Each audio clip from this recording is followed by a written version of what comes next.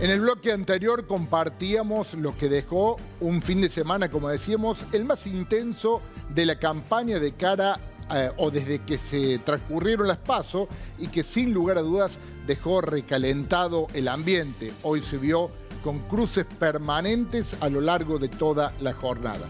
Pero como a nosotros nos gusta reflejarnos, observar, ver qué opinan quienes habitualmente nos siguen, hemos retomado hoy un espacio que fue un éxito, lo decimos en broma, el año pasado, que era el espacio de pensadores. Muchos villamarienses, villanovenses y gente de la región vieron el debate y fueron volcando sus opiniones a través de las redes sociales de pensamiento crítico. Vamos al pleno, gracias Marcos. Estela Mari Jiménez, no vi el debate, no me... Ah, bueno, se me pasó rápido. No creo que un debate entre seis pueda haber un... A ver, vamos a ponernos de acuerdo. Bien. Estela Mari Jiménez, no vi el debate, no me interesa escuchar palabras de dimes y diretes, un debate no cambia mi intención de voto ni la imagen de la persona, una persona descreída. A ver, vemos otra placa que es la de Juan Manuel Arias, no creo que un debate entre seis pueda haber un ganador, no cambió mi voto, sí hubo un perdedor, pero no lo especifica, Margarita Ripa, Alberto Lejos. Tenemos un par de placas más, compartimos la, siguiente, a ver qué, dice. Eh, va, ya va, la vamos a compartir. Ahí está, Liliana Estrumia dice, ganador Macri. Y me sorprendió Esper, muy bien. Eh, por su parte, Susana Clelia Ratti de Ceracio le contesta a Estrumia y le dice, Liliana Estrumia, Esper es Macri, un liberal a ultranza. Esper fue eh, fuera de la grieta uno de los que más se destacó. Por último, Daniel Augusto González dice, el que diga que hubo un ganador es porque no entiende nada de política. Esto solo sirvió para confirmar quién es quién y la posición de cada uno. Sorprendente la performance y seguridad de Esper se suma también a esta postura. Y por último, Johnny Cruz, no hubo ganador, solo confirmación de quién es quién. Aguante Alberto, dice Jolly Cruz. Son algunos de los tantos comentarios que recibimos en nuestras redes, que agradecemos y que seguramente con el correr de las horas vamos a poder seguir compartiendo. Pero ya vamos a ir con una opinión, si el tiempo en algún momento del, programa nos permite, de lo que nos pareció a nosotros el debate, más allá de algo que ya dijimos. Pero les quiero comentar algo que se viene. La ciudad va a ser, obviamente, también epicentro de la campaña y por eso vamos a empezar a compartir algunos inserts que nos van a dar pie para comentarle lo que va a pasar. Mire, esto será mañana. Mañana miércoles en Río Cuarto y en Carlos Paz va a estar Mauricio Macri con la marcha de El Sí Se Puede, lo cual será el cierre el jueves 24 en Córdoba frente al Patio Olmos. Esto es lo que tiene que ver con Macri mañana, repetimos. Mañana viene a la región, a Villa María, Villanueva, y va a estar en pensamiento crítico Natalia de la Sota. En Villanueva, ahí lo vemos a las 5 de la tarde, una reunión general en la sede del PJ de Marco Juárez y Córdoba.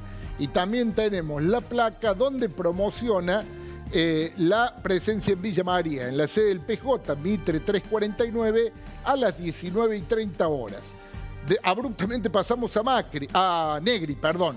Negri va a estar también en Villa María el próximo viernes. El próximo viernes Mario Negri va a estar en Villa María, va a estar encabezando una reunión partidaria y estamos trabajando también para tratar de tenerlo aquí en Pensamiento Crítico.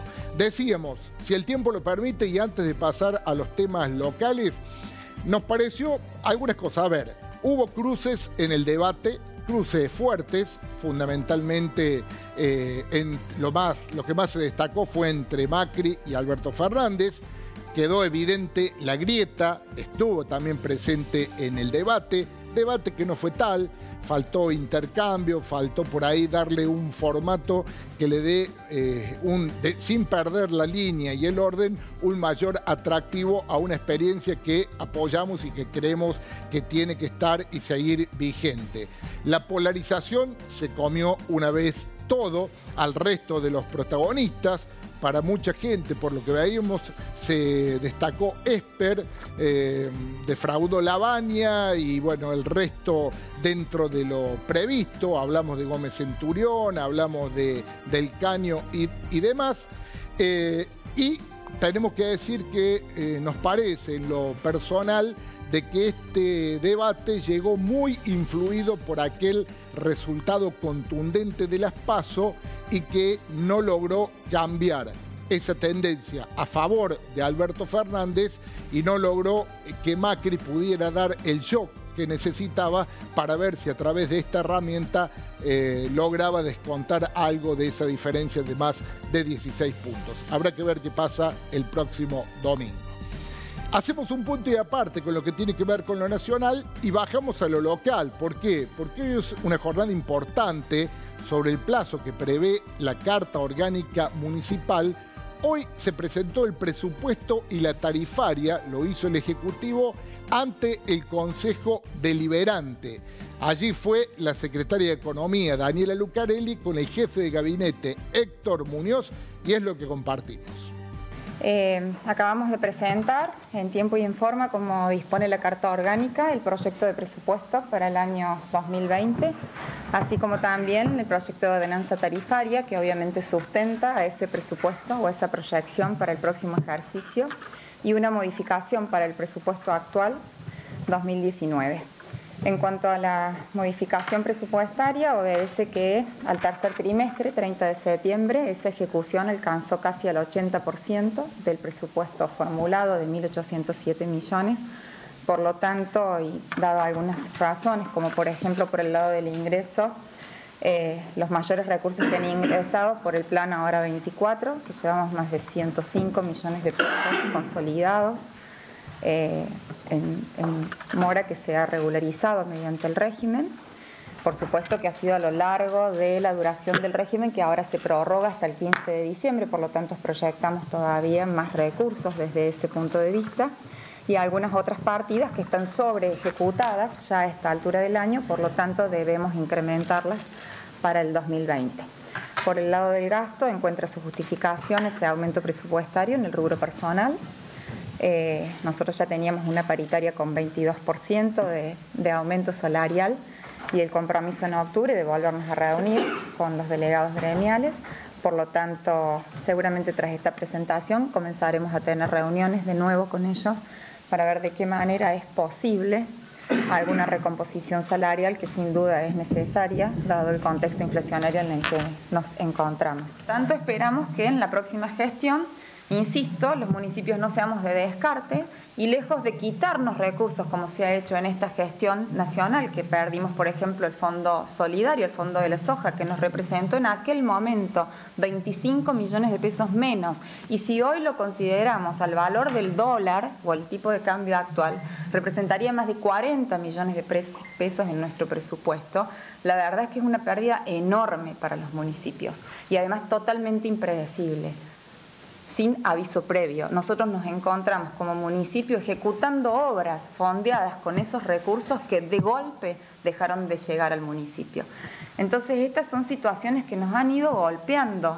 Eh, mes a mes, año a año, y que esperamos que en, el próxima, en la próxima gestión gubernamental esto se revierta y que los municipios recuperemos los ingresos que nos corresponden. No pedimos nada que no nos corresponda. Los ingresos que nos corresponden, que estaban pactados, que así sea, y que sea un país más federal, como decimos siempre, pero que se verifique en la práctica, que la única modificación que hubo en la coparticipación benefició a la provincia de Buenos Aires. Bueno, el resto de las provincias también existimos y en el resto de los municipios también tenemos necesidades. Ya vamos a volver sobre este tema, queda mucho material, pero tenemos un invitado que eh, recién acaba de llegar, queremos compartir aunque sea algunos minutos antes de finalizar esta edición de Pensamiento Crítico. Pausa y ya dialogamos con Fernando Peirano.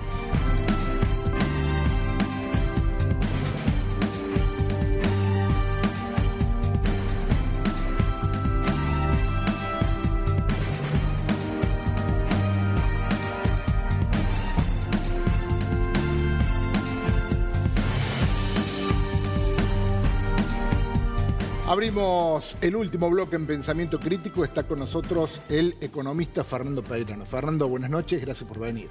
Bueno, muchas gracias por la invitación. Eh, Fernando, te especializás en lo que tiene que ver con ciencia y tecnología dentro de, además de la economía propiamente dicha. Sí, y, hoy formo parte del Frente de Todos, de sus equipos técnicos, y es interesante ver que el candidato Alberto Fernández observa las dificultades de la economía argentina, observa este país que va en un rumbo que es un rumbo contrario al desarrollo, observa que la solución de muchos de los obstáculos que tenemos es justamente por una combinación de respuestas macroeconómicas y microeconómicas, una importancia muy firme a lo productivo y esta importancia de lo productivo hace del conocimiento, hace de la ciencia, la tecnología, la innovación una herramienta clave para la transformación y aportar margen de acción, porque hoy la economía argentina lo que no tiene y lo que no va a tener en los próximos tiempos, desde la macroeconomía, con una presencia del FMI que hoy condiciona, el, el, margen de acción va a venir justamente por todo lo que podamos hacer en la mejora de productividad, en los proyectos que hagan del conocimiento una verdadera herramienta, un motor de desarrollo. Ahora, eh, te paraste sobre un tema que me interesa. ¿Qué posibilidades habrá de cumplir con esos compromisos externos que deja este gobierno en una alta escala y eh, aquella deuda interna que hoy está acuciante y está pidiendo a gritos una solución lo más pronto posible? Bueno, sin duda hay que poner prioridades, nuevas prioridades en Argentina. La urgencia es ponerle un piso al hambre, la urgencia es levantar las persianas de las fábricas, la urgencia es defender el empleo. Estas son las prioridades que tiene Argentina. Ya lo se ha comentado mismo en, en Estados Unidos. Mm. El FMI ha sido muy imprudente, con los fondos que le transfirió a Argentina y sobre el uso que permitió que se haga de esos fondos, de esos grandes préstamos más grandes de la historia. Y hoy el FMI tiene que saber que es socio de una Argentina en crecimiento, porque si la Argentina no crece, no vamos a poder pagar todas las obligaciones. En una definición política que es honrar esas deudas. Nadie está planteando desconocerlas, pero sí acomodar las prioridades para atender primero lo urgente y luego sí el crecimiento que nos dé la posibilidad de atender eh, las obligaciones externas. En un país que tiene que exportar mucho más, en un país que tiene que volver a emprender la sustitución de importaciones y en un país que tiene que saber cómo atraer inversiones para que oportunidades como vaca muerta sean también un puente a responder a estas inquietudes que señalabas. Eh, Labaña, Alberto Fernández, también hablan de poner eh, plata rápidamente en el bolsillo de los argentinos, algo estabas diciendo. ¿Cómo se logra esto, Fernando? Bueno, hay que entender que para eso se comienza planteando un nuevo mm, eh, enfoque macroeconómico. Si nosotros tenemos, como hemos tenido, por ejemplo, hasta las PASO, una economía que permite un dólar retrasado, que sostiene ese dólar retrasado con una alta tasa de interés, ese sistema es un sistema altamente costoso, quizás invisiblemente costoso, mm. pero muy alta, que es lo que cuestan las LELIX, que hoy todavía siguen funcionando. Cuando uno tiene otra política cambiaria, cuando uno libera la tasa de interés de esa obligación y la pone en función de la producción, habilita los créditos nuevamente para poner en marcha la rueda de la economía. Y otras medidas complementarias, ¿no? como las tarifas no pueden estar dolarizadas, como volver a... clasificarlas sí o sí. Y hay que preocuparse por la inflación. Este gobierno... Esa es la madre de los problemas, ¿no? Es muy importante porque también afecta el tipo de cambio, afecta al bolsillo, afecta todas las definiciones.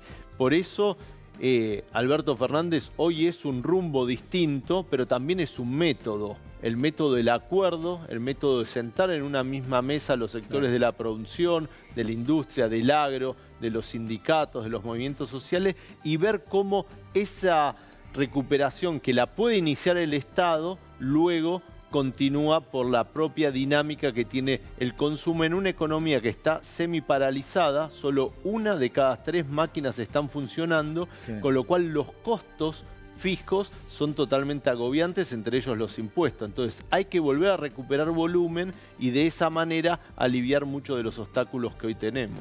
Tenemos una captura por allí que es la de ciencia y tecnología, no sé si la, si la tienen por allí para poder eh, sí, ahora no, me están preguntando acá, en el equipo, fíjense, es un título donde, eh, es un título, una nota de Fernando, eh, porque tiene que ver justamente con esto. Sí, con el tema de la ciencia y la tecnología. vos decías que tanto Alberto Fernández como Cristina son partidarios de a ver, este lo pongamos en pleno, ahí está. Fernando Peirano, para Alberto Fernández y Cristina, la ciencia y la tecnología son ejes del proyecto de desarrollo, si lo dijiste a los colegas de periferia. ¿Esto es tan así? No, es así porque es más profundo que una reivindicación hacia los científicos que han sido muy maltratados en esta gestión de gobierno, sino que también es entender que hoy las sociedades que escriben su propio guion, que definen su propia historia, tienen el conocimiento la llave del desarrollo. Es el conocimiento lo que nos hace ricos, es el conocimiento lo que nos permite distribuir mejor la riqueza y es el conocimiento lo que nos va a dar capacidad de respuesta a nivel social, a nivel país, frente a un mundo muy incierto que abre oportunidades, pero son muchas veces oportunidades efímeras, pero también nos enfrenta riesgos que hay que saber mitigar y ahí la inteligencia, el conocimiento es la mejor herramienta que nos da plasticidad para ir transitando este mundo con estas características. Dos preguntas más hago y nos vamos. Una, una ciudad como Villa María, donde dos universidades, terciarios reconocidos, el sector privado y el público coactúan.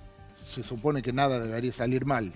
Bueno, pero necesita un marco, un marco de política nacional. Necesitamos salir de la idea del federalismo como sinónimo de coparticipación de impuestos y ir a un país donde se apoye ni siquiera en 24 capitales provinciales. Tenemos que encontrar 30 o 40 ciudades que sean ciudades del futuro, ciudades que incorporen toda la tecnología, todo el conocimiento posible para vivir mejor, atender el hábitat. Y esto es una propuesta que Alberto Fernández la sintetiza en esta idea que el próximo gobierno va a ser un gobierno de 24 gobernadores y un presidente.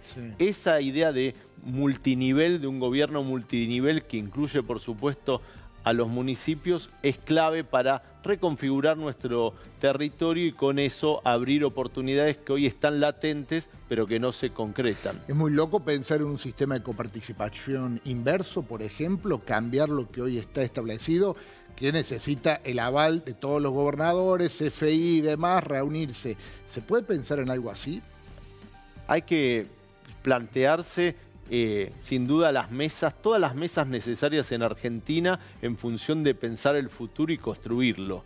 Eh, sabemos que tenemos un país profundamente asimétrico entre regiones, al interior de los sectores productivos. Tenemos que abordar esas asimetrías y la única herramienta real de transformación que reduce esas simetrías son las políticas públicas, es el Estado. El mercado lo que termina haciendo es fortaleciendo al más fuerte y debilitando al más vulnerable.